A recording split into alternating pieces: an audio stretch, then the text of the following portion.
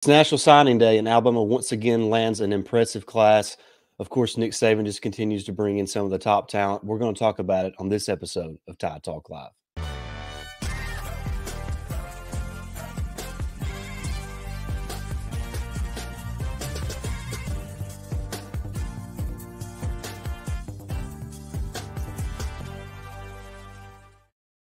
What is up, everybody? Welcome in to Tide Talk Live on the Believe Network. Stacey Blackwood and Jake Thomas here, giving our reactions to Alabama's signing class here in 2024. Another impressive class from Nick Saban and the Crimson Tide.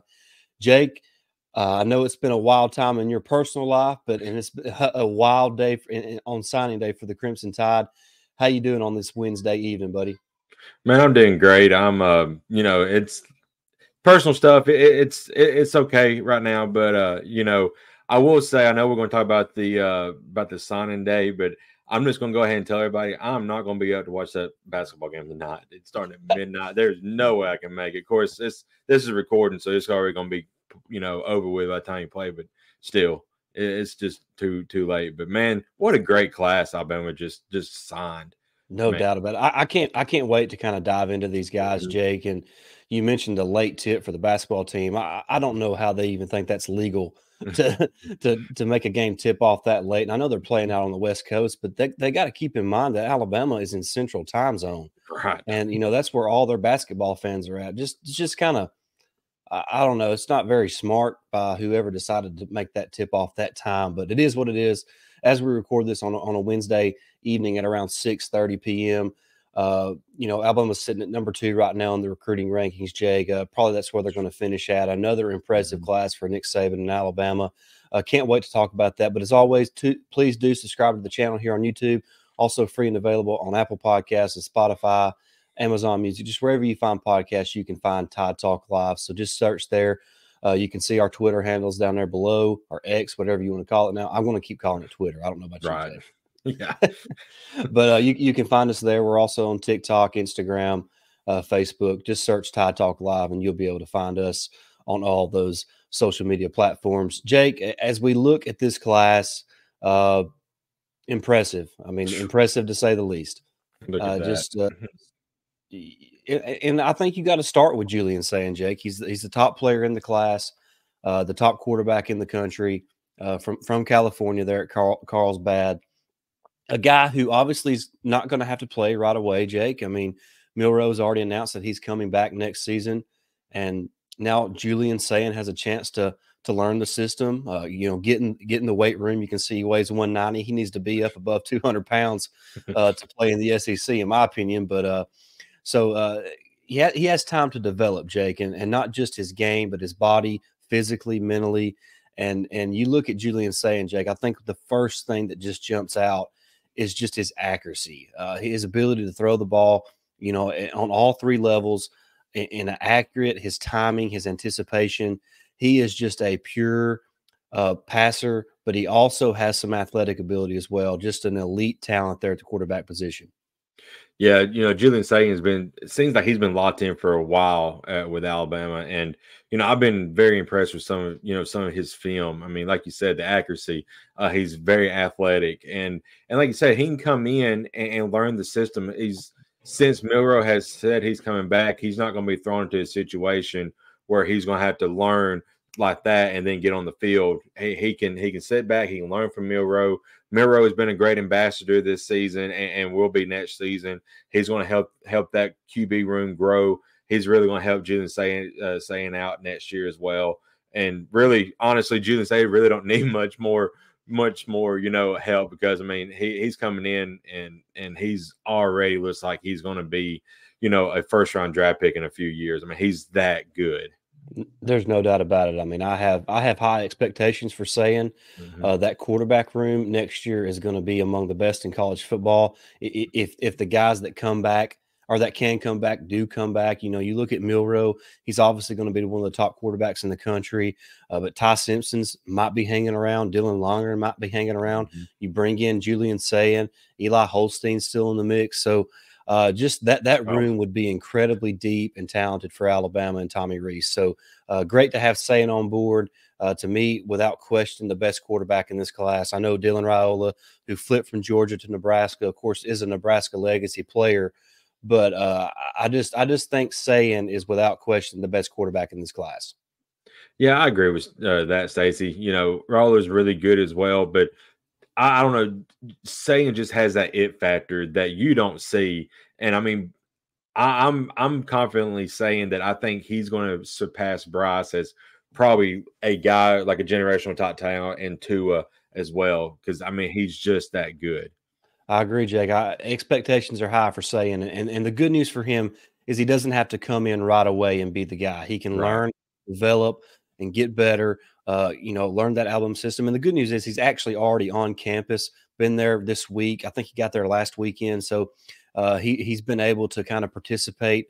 Uh, I think mostly in shorts. I don't even think he's been able to put any on any pads yet because they're those freshmen enrollees have to wait a certain amount of time before they can put on pads. But he's already there practicing with the team, learning the playbook in those meeting rooms. So Julian Sayin's just a, an elite talent. You look there at the, the next five star, Jake Jaylen Mbakwe. Um, you know, a lot of people have him as a as an athlete. On three list him here as a cornerback. He's going to play corner at Alabama. Mm-hmm. He played quarterback in high school as well. Jake, just anytime he was on the field, he was the best athlete on the field. And if you look at Mbakwe, he just has he has the upside that you're looking for when you're when you're looking at cornerbacks at the next level. Jake, five eleven, probably going to grow to be about six foot before it's all said and done. He'll play about one ninety while he's at Alabama, so really good corner size, great speed, great athleticism and a guy once he kind of is is developed under Nick Saban and Travaris Robinson, I think has a chance to be a really special corner for Alabama. Yeah, I agree, agree, Stacey. I got to see him uh, when they played their high school uh, championship game, and he went up against um, another guy who hadn't signed it with Alabama, but is committed, Ryan Williams. And Williams in that game for at, at start was just dominating, but they they moved uh, Mbakwe over there to him, and they kind of slowed him down. Uh, Jaylen did. So I'm really excited about him as well. He's a guy that you know he may be able to come in and, and start his freshman year at at uh, at corner if if needed. We got a lot of talent coming back. We got you know with with Terrion Arnold potentially going to the draft. We know that Kool Aid is going. I would feel confident if if Jaylen steps in and and you know as a freshman because eh, I think he's going to be another guy like you said is going to be a, a, legacy player at Alabama when he's when his time is done. Yeah, uh, talking about corner for next year, Jake, mm-hmm. and and you know, there's a chance with Kool Aid gone. Mm-hmm. I think I think Terrion Arnold's gone as well. There's there's some mock drafts that even have him ranked as the top corner in the entire in the class. So in, in, the, in, the NFL draft class. So mm-hmm. uh, there's a chance there's going to be two spots open at corner for Alabama. But you know they, they recruited some guys last year. Jahlil Hurley, you know mm-hmm. Antonio Kite's still there, redshirt freshman this season. You know Des Ricks, a, a freshman five star from last year's recruiting cycle. So there's a lot of young talent. Of course, Trey Amos will be back yep. next year as well. So um, I, I, think there's going to be a lot of competition there for that. I think Trey Amos is going to have one side locked down, mm-hmm. and there's going to be a lot of competition for that other cornerback spot. And I do think Mbakwe has a chance to compete for for one of those roles as well. And, and you got to think that he could be a, a really valuable special teams player for Alabama as a absolutely, absolutely. He, I, I, can see him being being dominant as a true freshman on special teams. Yeah, C- Caleb Odom, Jake, a, a tight end from from Georgia, uh, an Amari Niblack top player, Jake, mm-hmm. who is probably already bigger than what Niblack was, you know, at this point in his career coming out of high school. Uh, so I think as far as his his ability to make plays in space in the passing game, there's no denying that. He's he's as good as it gets from the tight end position, whether that's in high school, college, or even at the at the NFL level. He has elite playmaking ability as a receiver. But we all know what Nick Saban wants his tight ends to do. They, they have to they, they have to be able to block, Jake. They have to be right. able to play on the line of scrimmage, put their hand in the dirt, and play some physical football. So if Odom can come in, put on some more muscle mass, become a more physical top player, which I believe he can, then he is a future star for Alabama in this offense. Yeah, I agree, Stacey. He he's one that I've been uh, keeping up with as well. I'm excited to see what he can do. Uh, he, I feel like him and Niblack are going to be a force in a few years together, uh, especially you know when Niblack becomes a junior and he's you know, probably a sophomore. Man, they they're going to be di- a dynamic duo for sure. Yeah, and I just want to run through. Uh, uh I don't want to run through every single player, but uh, so we're going to skip Zabien Brown. I think a guy who's a really good player, one of the more underrated players in the country. I know on three, the industry has him as a as the number fifty four player. I really like Zabien Brown. I think he has a chance to be a really good player, and another guy who could come in and compete for a potential spot there uh, in the defensive backfield for yeah. Alabama. But Kevin Riley, Jake, a running back that Alabama actually flipped today from Miami, been committed to Miami for a good while now. Uh, you see there in his rankings a top 75 prospect uh, across the board in the industry rankings, the number three running back in the country. A guy, Jake, that I believe is getting better. I thought his sophomore and junior film, when I watched, I'm like, yeah, he, he's an SEC top, top of back. He, he has really good potential, can be a really good player. Then I watched his senior tape, which just really come out a few days ago, Jake, and I, I watched that, and I, I just seen a little bit different player than what I saw with his previous tapes. This is a guy who is explosive, uh, a home run hitter, can make uh, make guys miss at the line of scrimmage, a patient runner, and I think he has a chance to be a really good player. And like Julian Sayin, the good news for him is he doesn't have to come in and be the guy.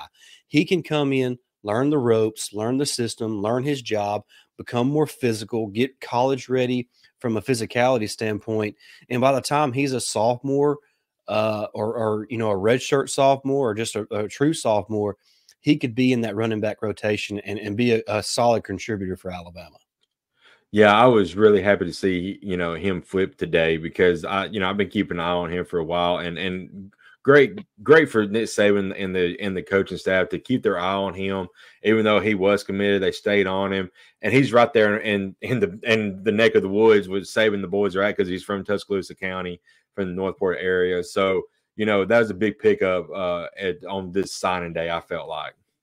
Yeah, really huge, huge flip for Alabama on signing day to, to keep the, the top running back in the state, you know, at home, close to home, like you mentioned, being mm-hmm. from uh, the Northport area there in Tuscaloosa County. So a really good player. I think a guy in, in like two years, Alabama fans are like, yeah, I forgot we kind of signed that dude. mm-hmm. Yeah.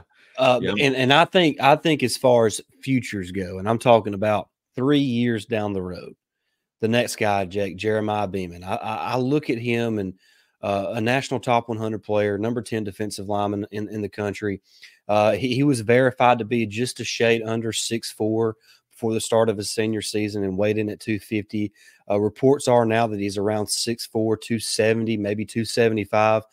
I think this is a guy, Jake, that after two full seasons or two full years at Alabama in the weight room, uh, you know, just continue to grow his body and mature because he has he has the bone structure to to be a really physical, physically imposing player.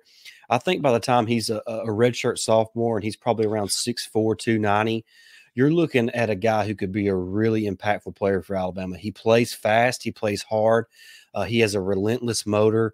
Uh, just a really, really good player. Almost, I, I, think he could have a similar career to what Justin Eboigbe had uh, as far as you see, you know, when he's at the end of his career, he is one of the top defensive linemen in, in the entire country. And I think Jeremiah Beaman has that type of a potential, but it is going to take him a couple of years to continue to develop. And, you know, the defensive line, that's a developmental position anyway. So uh, mm-hmm. I, I just really think in about three years, we're going to look back at Jeremiah Beaman and be like, man, that was a really good get, uh, considering he was, you know, the number 10 player at his position. Yeah, he he he's going to be really good, like you said, in a few years. He, uh, like you said, the relentless motor. Uh, he, he explodes off the ball. I, have noticed that with some of his films. So I'm excited to see what he can develop and what he can be in the future. Feel like him and a and a guy from last year's class has played a little bit this year, James Smith. Going going to be a, a, great duo on the defensive line you know, in a few years.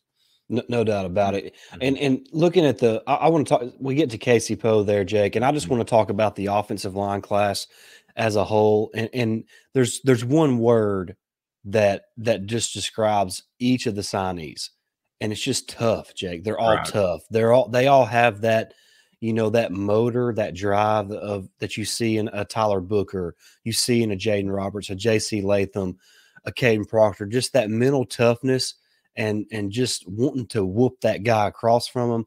All mm-hmm. those guys have it. You're talking about Casey Poe, Uh, you're talking about. Uh, let me get down to the other ones. William Sanders, uh, just mm-hmm. another good player. Uh, there's you know Joseph Ionata, another guy who is re- look there. The industry, he's he's not even a top 500 player, Jake. But I'm telling you, when he's a redshirt junior, if he can, if he sticks it out, Jake, he is going to be a nasty offensive lineman. Yeah. Just I, I, nasty is another good word to kind of describe this offensive line class. While it doesn't really have the star power that we saw last year with guys like you know Kadyn Proctor on it, um, I, I really like the group they have this year, especially from a mentality standpoint. Yeah, guys like Casey Poe and, and you mentioned him, a guy I've been really high on, uh, William Sanders. William Sanders was a three star starting out, and and you know a lot of people was like, why why are we going after three stars when we can get four and five star players? Because I knew William Sanders was eventually going to be a four star get, and and I've I've watched he watched a lot of his film, uh, Casey Poe as well. I really like like their motor, like you said, Stacey. They got that mental toughness. They they've got the drive. They they just have the Bama attitude that you you want with offensive linemen. And these guys, they come in and it and add depth for one, but they're another guy. There are other guys who can come in and just learn the playbook. They don't have to step in and, and be elite right away. They can learn and develop. And when when their time comes, man, they're going to be they're going to be a massive unit with those, especially those three guys. I, am very excited uh, to see what the future holds for for all three of them. Yeah, you mentioned William Sanders by name, Jake, and, and mm-hmm. I'm going to say this. I think when it's all said and done from this particular class, I think Sanders will be the best of the bunch. I really mm-hmm. believe that. And you see on three, their their specific rankings, they have him as the number four interior offensive lineman. And like you mentioned, you know, I don't know, maybe not even six months ago, he probably wasn't even a top 500 prospect. Right. And you see there, he's at number 107. So you know what on three thinks of him, a really, really good player and and I, I really think he's going to be the best of the bunch in terms of the offensive linemen that, that were signed in this class. Yeah, you see right down there the other the other recruiting departments don't even have him listed on the national level, so it's yeah. kind of a sleeper here. And yep, I mean William Sanders, his film they from where he's where he's coming from, they run the ball a lot. He's he's he's a monster running the ball. It feels like he's going to have to develop his feet work, his footwork to get the passing uh, blocking down. But once he does, man, I, I agree with you. William Sanders just has that it factor. I feel like on the offensive line, and uh, he's going to be a very special player in a few years. Yeah, you you run down the list, the rest of the list. Peyton Woodyard, really good player, flipped from Georgia from a couple months ago. Amari Jefferson, a guy that that that kind of rose in the ranking late as well. Mm-hmm. You see there that on three has him as the number 17 receiver, a top 100 prospect, a really good player out of Tennessee. Uh, Grimsley, our long, sticky cornerback uh, there from Tampa at 6'2, 185, a guy who who's a really, really good player.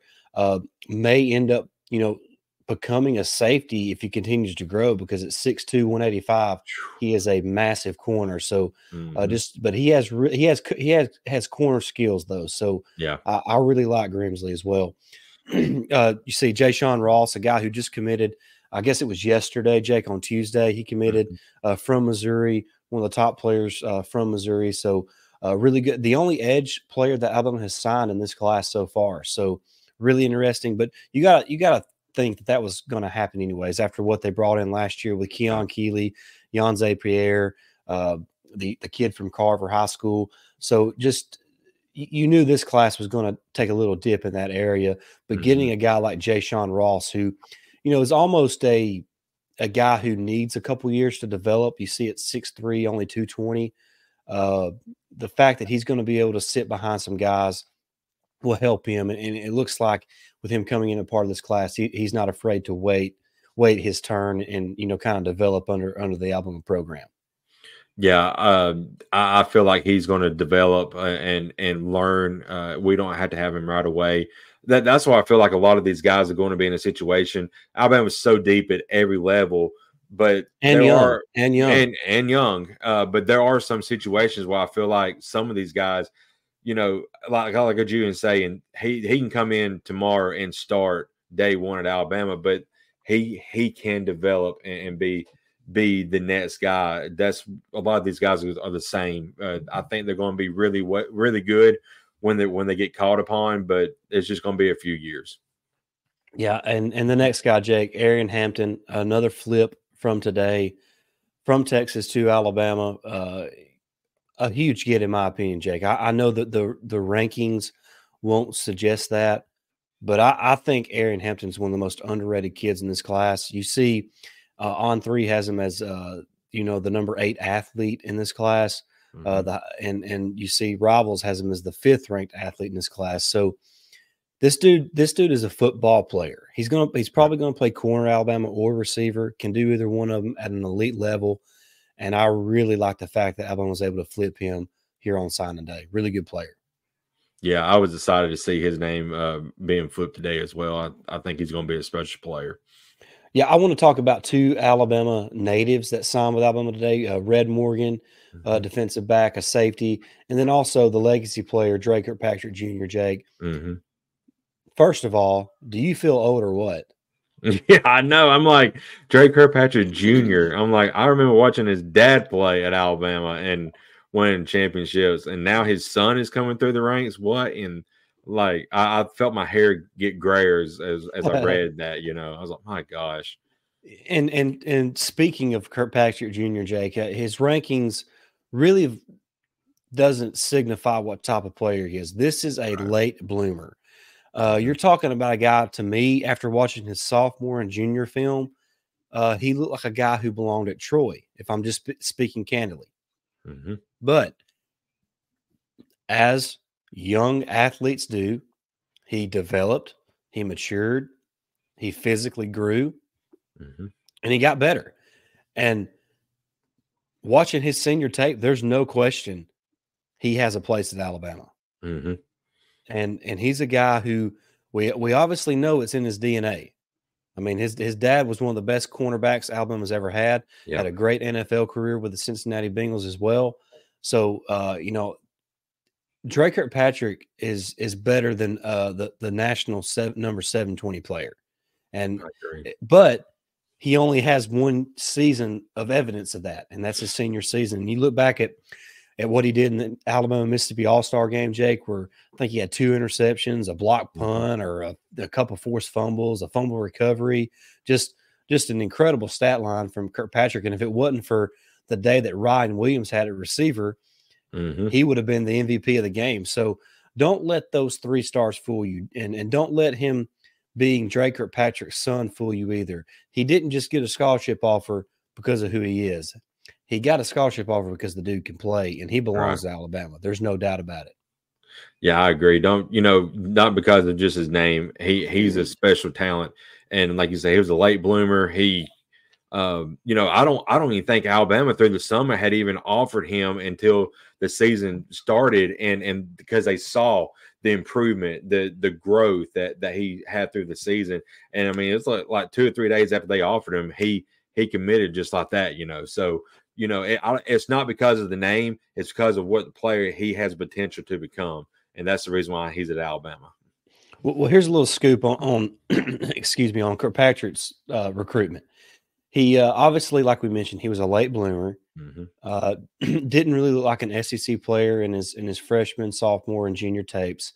Uh, had spent the summers kind of banged up a little bit. Uh, was not able to go to any kind of camps, and anybody that follows Alabama recruiting understands that that Nick Saban doesn't offer many guys if they hadn't been at camp at Alabama. Right. Well, he was able to camp with Alabama this last summer, and that's where he earned his scholarship offer because of his of the play of the way he played during the camps there in Tuscaloosa over the summer. So, uh, but he was unable to do that uh, the, the summers before because he was a little banged up. I think he had a shoulder injury just a couple different nagging injuries, and he was not able to compete at those camps. But he was able to do so this past summer. He earned an offer, committed, and then backed up that offer by having one of the best seasons in the state of Alabama for a defensive back. So, yeah, no, without question, he earned his offer to Alabama, and I'm excited to have him on board. Yeah, man, I, am excited to see what you know how he can develop because I think he's going to be a special player. And you know, uh, not just because of, of his name. I, I, think he's going to set his own legacy at Alabama.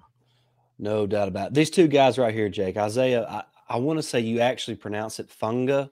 Mm-hmm. I know it doesn't look like that, but I'm pretty sure it's Funga.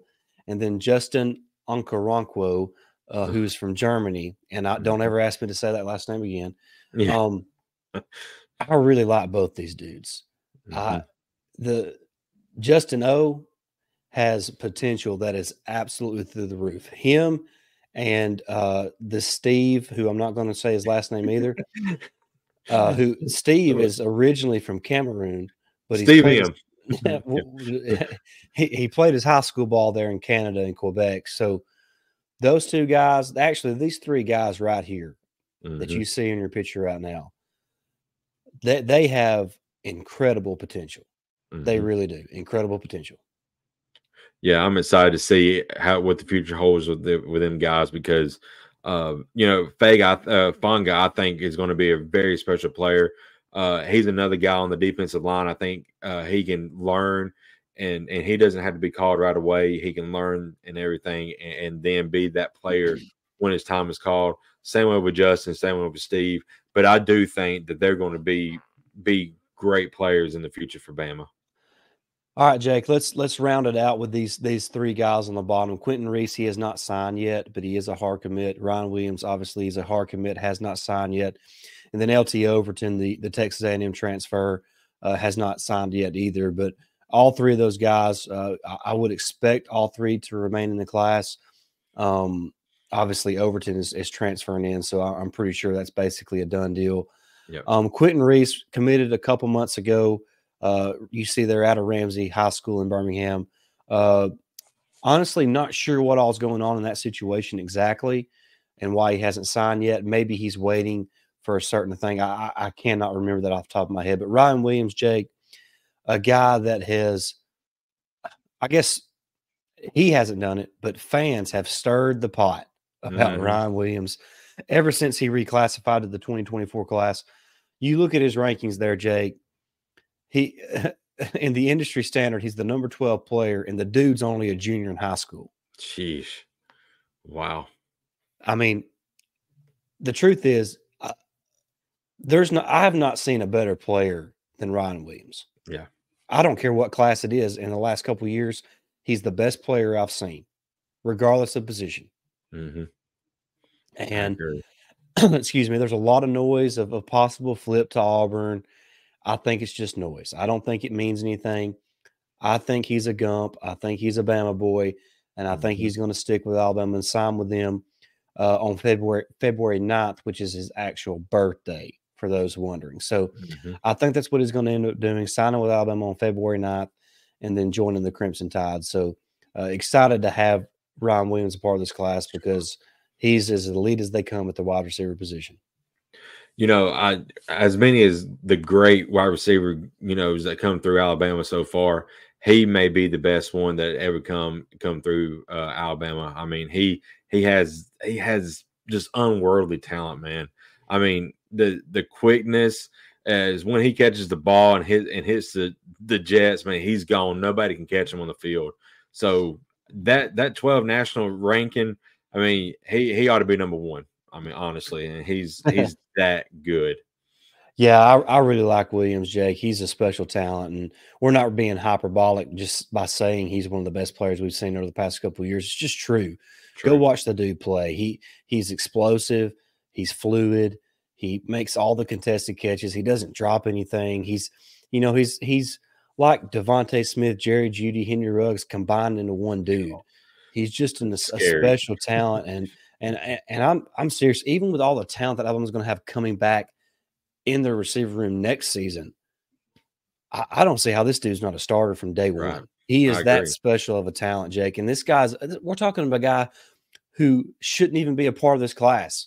He's mm-hmm. really a class of 2025 guy, but he's he's obviously smart. He's going to graduate early, and he just has elite skills, Jake. And I, I cannot wait to see him wearing crimson and white man, you know, you think about about the class that that or, or the group we got coming back next year, wide receiver. But I mean, you could you potentially have Isaiah Bond on one side with Ron Wills on the other. I don't, Ken, I don't know who's going to Kendrick Law coming in motion. Kendrick Law coming in motion. Kobe Prentice and, and you know in, in, the slot. I mean, who do you cover in that situation yeah. as as a defense? You know, and defense coordinator, how do you how do you game plan for that? I mean, it's a game plan mismatch, and and you know, I I'm not trying trying to trying to you know sound arrogant here, but the thing about it is, why I don't think he's going to flip is Alabama has a, an established quarterback. Auburn has got quarterback issues, you know, at the yin yang right now. I mean, you really won't.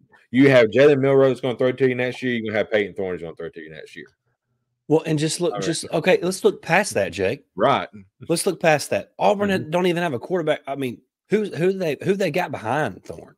I who know? I think Robbie Ashford is in the transfer portal. So yeah, I mean, you know, so there's there's no hope for the future, really. No, and you got Julian Julian Sayin behind Dylan, Dylan Lonergan, Ty Dylan Simpson. Lonergan. I mean, any of those guys are better than anything Auburn has. Yeah, yeah. I mean, I, no I would go as to say that if Eli Holstein mm-hmm. was in Auburn right now, mm-hmm. he would be as good as they got at quarterback. Yeah, and he, probably he, started. He, he's potentially Alabama's fifth string quarterback. That's insane. Now, now obviously, some of this stuff can change with the transfer portal, and who knows what's going to happen. You know, right. once Alabama's season's over with. But I mean, I, I just I'm with you, Jake. I, am not. Well, I know why guys are going there. It's NIL. I mean, right. receivers. I mean, yeah. and look, we all know that Hugh Freeze can recruit. He done right. it on this, but he's a snake old salesman, Jake. That ain't gonna last. This not no, gonna last. No, it's not gonna last. No. All right, Jake. I, I don't want to go any longer on this National Signing Day stuff.